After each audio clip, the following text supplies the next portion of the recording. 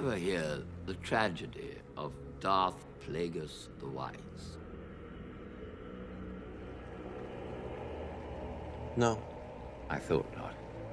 It's not a story the Jedi would tell you.